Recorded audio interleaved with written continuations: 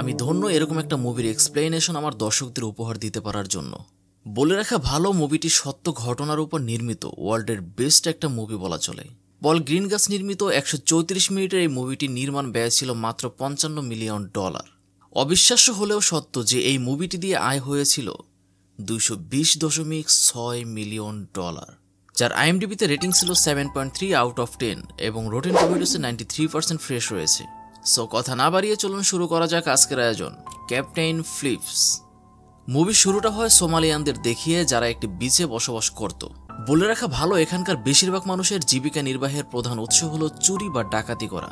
এজন্য কিছু লোকের হাতে আমরা মেশিন গানও দেখতে পাই, তারা খেয়াল রাখত, এখান দিয়ে কোনো বড় জাহাজ বা মালবাহী কোনো কার্গো যায় কিনা। যদি যায়, সেগুলোকেই টার্গেট করা হলো এদের প্রধান নেশা। এরই ধারাবাহিকতায় তারা এবার একটি বড় মালবাহী কার্গোর সন্ধান পায়, আর ওটাই হলো এবারের টার্গেট। এরপর তারা একটি বড় জাহাজ আর একটি ছোট বোট নিয়ে মালবাহী কার্গোর উদ্দেশ্যে রওনা হয়। সমুদ্রপথে কিছুক্ষণ যাওয়ার পরে তারা সেই জাহাজটিকে দেখতেও পায়। ওই জাহাজটি মোমবাসের দিকে যাচ্ছে। প্ল্যান অনুযায়ী তারা ওই জাহাজের কমিউনিকেশন ফ্রিকোয়েন্সি ট্র্যাক করে নিয়েছিল, যার ফলে জাহাজের মধ্যে ক্যাপ্টেনের সকল কথোপকথন তারা শুনতে পাচ্ছিল। এরপর আমরাও সেই কার্গোটিকে দেখতে পাই। সে কার্গোশিপের ক্যাপ্টেনের নাম ছিল রিচার্ড ফ্লিপ। রিচার্ডের অভিজ্ঞতা থেকে রিচার্ড জানতো যে এই পথে তাদের বিপদ আসতে পারে। সেই জন্য ওই পথে বা তাদের শিপের আশেপাশে কোনো কার্গোশিপ বা অন্য কোনো জাহাজও আমরা দেখতে পাচ্ছিলাম না। যেমন ভাবা তেমন ফল। রিচার্ড তার দূরবীনের সাহায্যে দেখে অনেক দূর থেকে তাদের জাহাজের দিকে দুটি বোর্ড আসছে।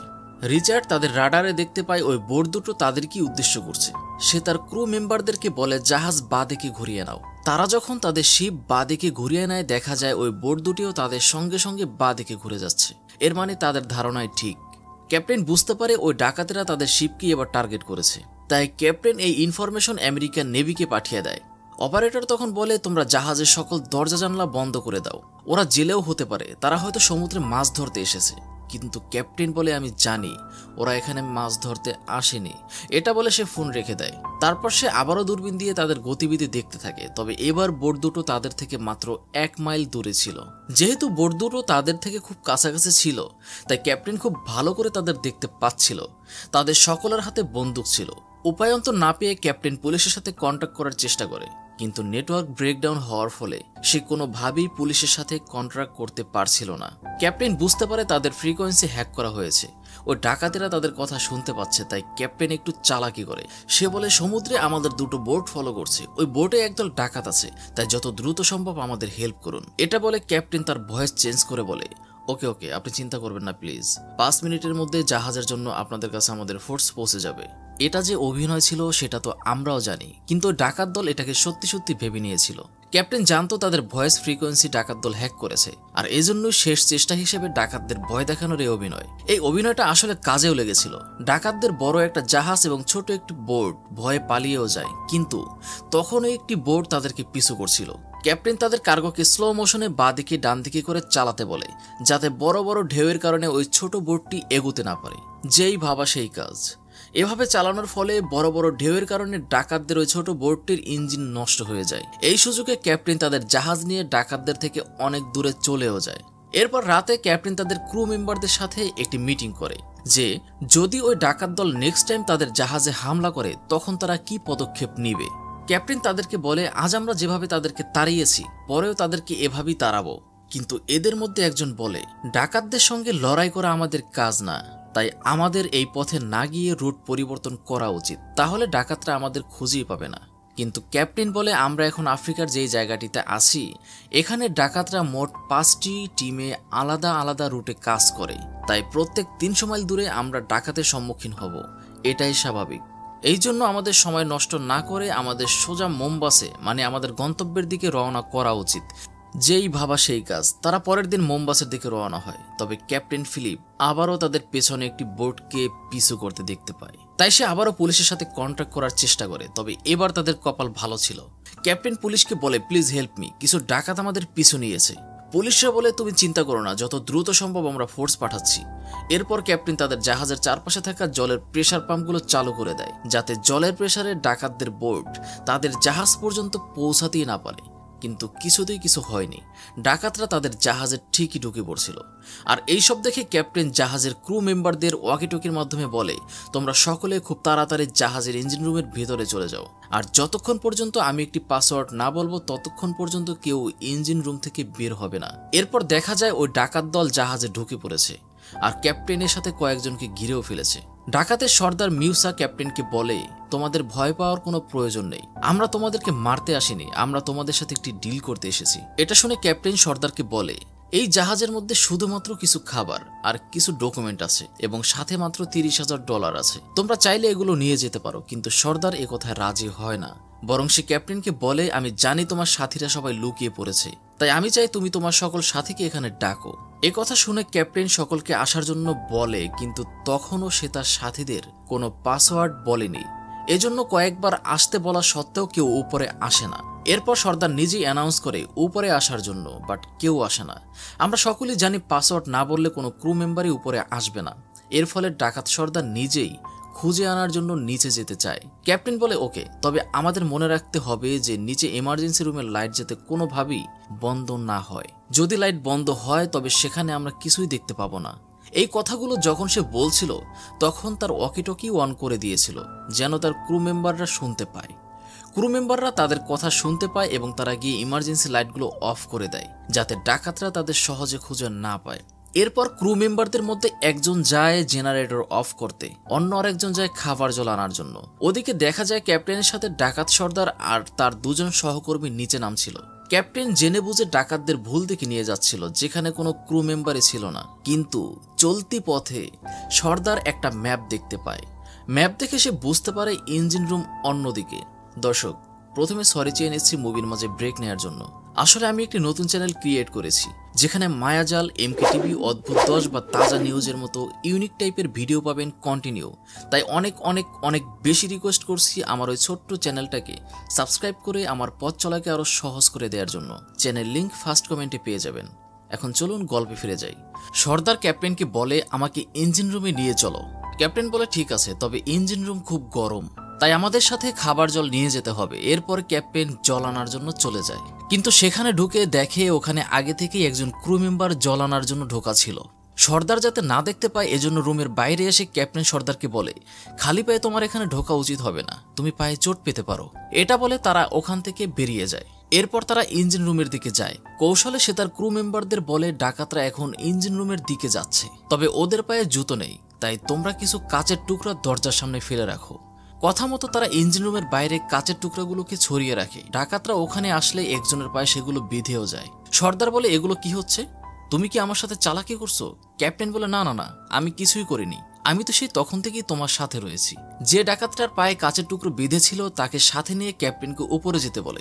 সর্দার পালাতক ক্রু মেম্বারদেরকে একাই খুঁজবে। এরপর ওই ডাকাতটাকে সাথে নিয়ে ক্যাপ্টেন উপরে চলে যায়। আর ওইদিকে সর্দারকে একা পেয়ে ক্রু মেম্বাররা তার উপর হামলা করে আর তাকে বন্দি করে ফেলে। এরপর ক্রু মেম্বাররা ওয়াকিটকির মাধ্যমে অন্য সকল ডাকাতদের অ্যানাউন্স করে বলে, আমরা তোমাদের সর্দারকে আটক করে রেখেছি।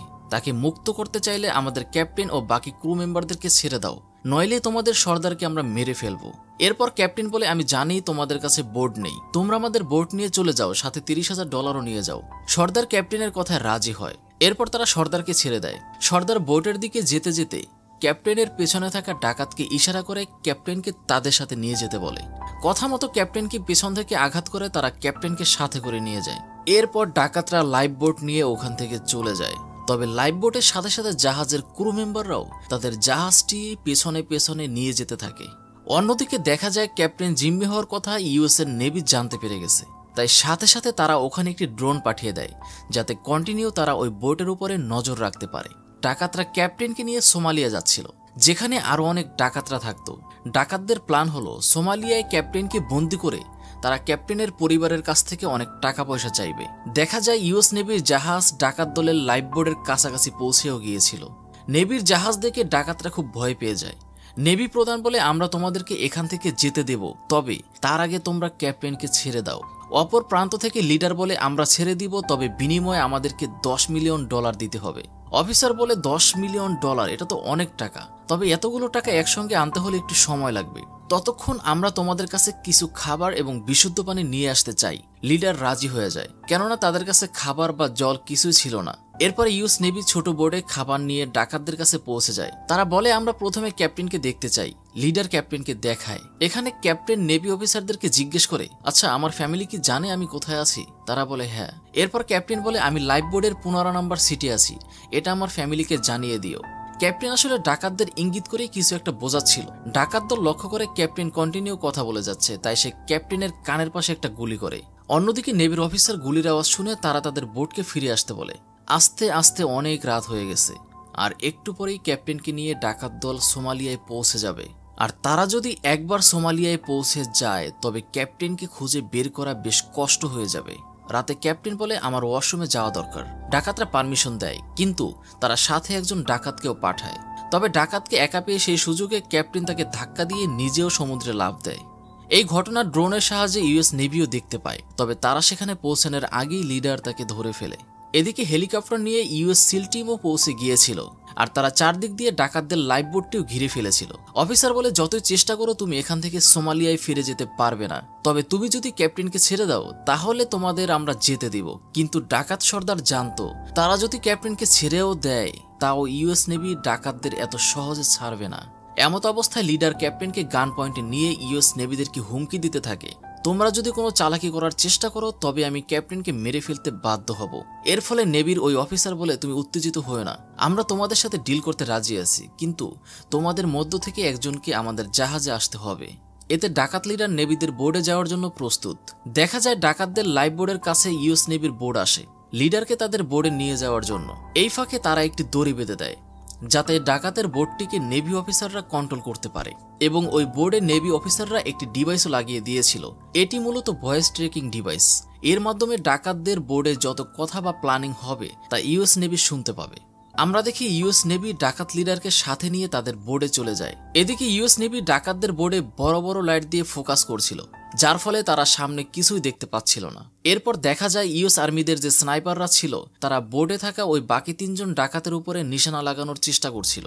এবং দেখা যায় তারা ওই দড়ি ধরে লাইফ বোর্ডটি তাদের বোর্ডের কাছাকাছি আনার চেষ্টাও করছিল। অন্যদিকে ক্যাপ্টেন ভাবে হয়তো এবার আর সে বাঁচবে না।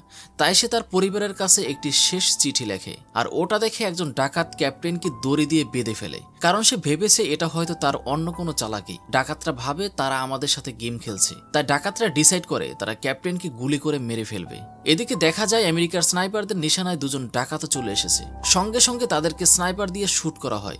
এতে তিনজন ডাকাতই স্পটে ডেট হয়ে যায়। আর এদিকে সাথে সাথে ডাকাতদের সর্দারকেও তারা অ্যারেস্ট করে এবং বন্দি করে ফেলে। এরপর ক্যাপ্টেনকে তারা ওই বোর্ড থেকে উদ্ধার করে আর এখানেই এই মুভিটির এন্ডিং হয়। তবে চলুন এই মুভির দুজন আসল চরিত্রের সাথে পরিচিত হই। প্রথমত এই হলো আমাদের মুভির গল্পের নায়ক, ক্যাপ্টেন ফিলিপস। কিন্তু ইনিই ছিল সেই বাস্তব ক্যাপ্টেন ফিলিপস, আমাদের বাস্তব চরিত্রের রিয়েল হিরো দ্বিতীয়ত এই হলো সেই মুভির চরিত্রের সোমালিয়ান ডাকাত। কিন্তু ইনি হল বাস্তবে সেই সোমালিয়ানদের কুখ্যাত ডাকাত সর্দার মিউসা। আজকের মতো এখানেই এটি। দেখা হবে নেক্সট ভিডিওতে গুড বাই